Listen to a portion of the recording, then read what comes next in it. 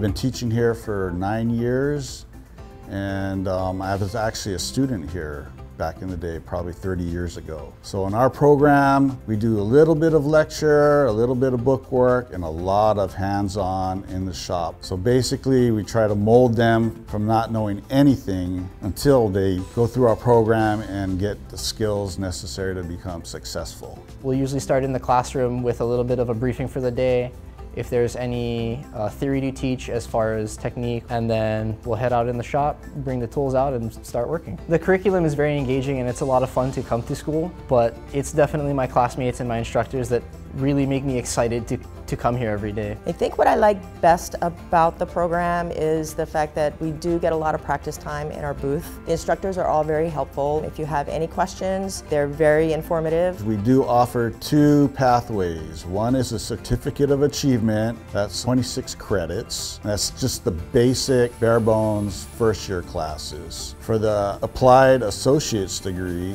in science, that is two years and that includes advanced welding, and that's about 64 credits. I really love the amount of support services that are on campus and I do make use of several of them. In particular, financial aid, the incredible counselors in the, in the counseling office. Initially coming into the program being a woman, I wasn't sure what to think because I know it's very heavily dominated with men in this field. But when I came in, everybody was very open, very supportive. Careers in the welding field vary. It's a wide range. We've got students that go to Pearl Harbor. We have students that get hired by small shops. And we have students that go to bigger shops that are nationwide. Some don't really get into welding. They get more into welding engineering, designing. Some join the unions. So I think the program is getting me job ready. We are already practicing for our certifications of our test plates, so having an understanding of that will help in any career I go to so that I already know how to work the equipment in any shop that I get assigned to.